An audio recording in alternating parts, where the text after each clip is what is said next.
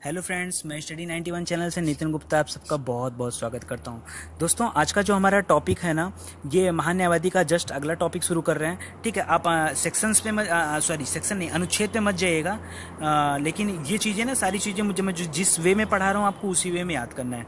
ठीक है तो देखिए, आज का जो हमारा टॉपिक है, इसका नाम है नियंत्रक एवं महालेखा परीक्षक।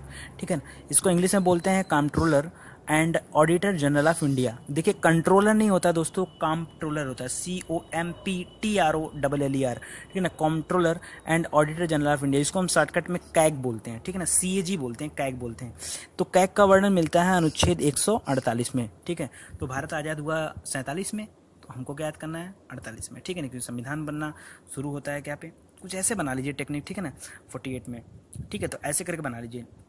तरीका होना चाहिए खाली, ठीक है ना? ये तो 148 ठीक है? तो अनुच्छेद 148 में किसके बारे में बताया गया? सीएजी के बारे में। और क्या बताया गया सीएजी के बारे में? किस तरह से? तो यहाँ कहा गया कि जो संघ होंगे एवं राज्य सरकार होंगे, हमारा देश यही दो दो भागों में बटा हुआ है, ठीक है? सारा राज्य सरकार है, उनतीस राज्य और सात केंद्र शासित अलग अलग ठीक है? और ये पूरा का सबको मिला के एक संघ बनता है। तो संघ एवं राज्य सरकार अपने व्ययों का लेखा करने के लिए सीएजी की नियुक्ति करती हैं। बस सिंपल सी बात है। सरकार है ना, चाहे राज्य सरकार हो, चाहे केंद्र सरकार हो, उनके आय व्यय का लेखा तो होगा ना। क्या यहाँ केवल व्यय का होगा, उनके आय का लेखा नहीं होता होगा? होता होगा, ठीक है ना? उनका भी होता है, आय और व्यय सबका लेखा होता है, ठीक है ना? तो आय और व्ययों का लेखा करने के लिए सीएजी की नियुक्ति करते हैं। अगर संघ का मामला है यानी केंद्र सरकार का मामला है तो इसकी रिपोर्ट केंद्र सरकार को भेजी जाएगी। और केंद्र सरकार में किसको भेजी जाएगी? तो सबसे बड़ा हेड कौन सा है? राष्ट्रपति है, उसको भेजी जाएगी। और राष्ट्रपति इस रिपोर्ट को क्या करेगा? राष्ट्रपति इस रिपोर्ट को ना संसद में रखवाता है। किस लिए? बहस करने के लिए, लोगों को जानने के लिए कि लोकसभा, राज्यसभा के लोग भी इसके बारे में जाने कि जो हमारी संघ सरकार है, उसके खर्चे क्या हैं? सिंपल सी बात है। और इधर क्या करती है? अगर सीएजी राज्य सरकार के मामले में रिपोर्ट तैयार करती है तो राज्य सरकार को भेजेगी। राज्य सरकार को रिपोर्ट देगी तो राज्य सरकार में किससे देगी रिपोर्ट?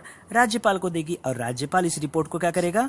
विधानमंडल में रखवाएगा। जैसे संसद में रखवाते थे, ये विधानमंडल में रखवाएँगे। तो यहाँ संसद में दो पार्ट होते हैं, लोकसभा, राज्यसभा। उसी तरह विधानमंडल में भी दो पार्ट होते हैं। कहीं कहीं होता है कहीं कहीं नहीं है, ठीक है ना? यानी विधानमंडल में आपका विधानसभा तो होगा ही होगा हर जगह। इसके अलावा विधान परिषद तो वो रखवाएगा वहाँ पे वहाँ पे बहस होगा कि राज्य सरकार के क्या खर्चे हैं तो सिंपल सी बात है, ठीक है ना? अलग अलग दोनों का खर्चा।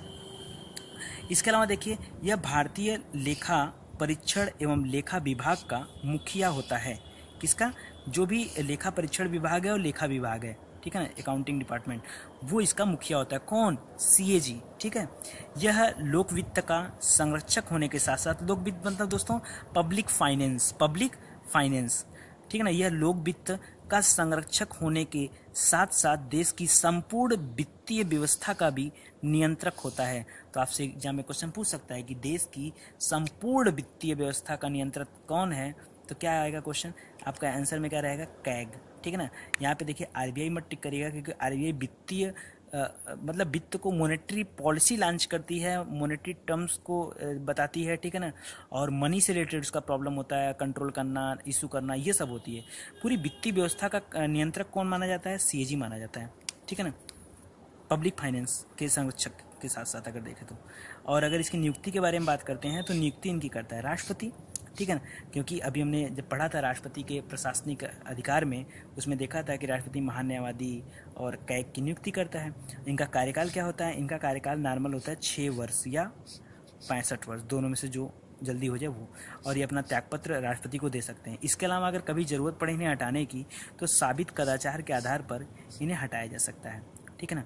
इसी तरह से हाई कोर्ट के न्यायाधीश को और सुप्रीम कोर्ट के मुख्य न्यायाधीश को भी साबित कदाचार के आधार पर ही हटाया जाता है। इसके अलावा निर्वाचन आयोग का जो अध्यक्ष होता है, उसको भी हटाया जाता है। देखिए, इन लोगों के ऊपर कभी भी महाभियोग नहीं लगता। आप कन्फ्यूज़ नहीं होंगे कि इनके ऊपर महाभियोग लगता है। ठीक है? इनको साबित कदाचार के आधार पर ही हटाया जाता है। इनके बारे में कुछ स्पेशल पॉइंट्स जान लीजिए। ठीक अच्छा दोस्तों, ये आप याद कैसे रखेंगे? छः वर्ष और पैंसठ में से जो अभी यदि होगा देखिए क्या होता है ना कि जो कैग होता है ना, वो जैसे मान लीजिए एक सरकार है, अभी मोदी जी की सरकार है तो मोदी जी ने कैग की नियुक्ति की होगी। तो पूरी मोदी जी के कार्यकाल में अगर इसका, मोदी जी कार्यकाल खत्म होता, अगला जो भी शासन आएगा, ठीक है, वहाँ तक तो इनको संभालना पड़ेगा ना। कैग को सारा सिस्टम, फिर अगला सरकार आएगा, तब वो नियुक्त करेगा। तो इसी वजह से इनका टाइम पीरियड जो लोकसभा कार्यकाल, अगर पाँच साल है तो इनका कार्यकाल एक साल ज़्यादा हो जाता है, यानी छः साल तक। फिर अगले बार नई सरकार आएगी, वो अपने हिसाब से अपने कैग को नियुक्त करेगी, ठीक है? इसीलिए इनका कार्यकाल क्या होता है? छः वर्ष का दिया जाता है। अगर इनके बारे में कुछ स्पेशल जानना है तो ये स्पेशल है कि सेवानिवृत्ति के उपरांत कैग, चाहे संघ हो, चाहे राज्य कहीं भी किसी भी तरह का पद धारण नहीं कर सकता। ठीक है, क्यों? क्योंकि देखिए, इसे भारत के वित्तीय व्यवस्था के बारे में बहुत चीज़ें पता होती है।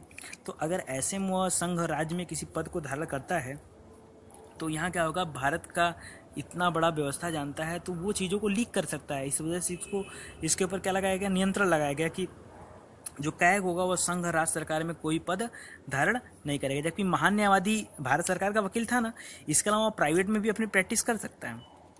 तभी तो बाबरी मस्जिद और टू जी स्पेक्ट्रम वगैरह देख रहा था, लेकिन यहाँ ऐसा नहीं है, ठीक है ना? वो अपनी अपना अलग से प्रैक्टिस नहीं कर सकता कुछ तो ये चीज़ें हैं, ठीक है? इसका वेतन संसद द्वारा निर्धारित होता है, ठीक है? और इसके पहले हमने महान्यायाधि के बारे में पढ़ा था, महान्यायाधि में हमने देखा था कि उसका वेतन निर्धारित नहीं होता है, उसका वेतन राष्ट्रपति द्वारा निर्धारित किया जाता है, लेकिन इसका संसद द्वारा निर्धारित किया जाता है और इसका वेतन जो सुप्रीम कोर्ट का जज होता है ना, उसके वेतन के बराबर होता है। ठीक है ना? उसके इक्वेलेंट वेतन होता है किसका? कैक का। ठीक है? दोस्तों कुछ बातें मैं आपसे करना चाहता हूँ। पिछली वीडियो में भी मैंने कहा था, जो लोग जानते हैं बहुत अच्छी बात है उनके लिए, ठीक है?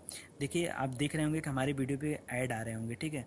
तो आपको करना है क्या दोस्तों? ऐड पे क्लिक करना है। सिर्फ़ दस बीस सेकंड की बात है। आप क्लिक करेंगे ना तो उससे मुझे कुछ फ़ायदा हो जाएगा, ठीक है?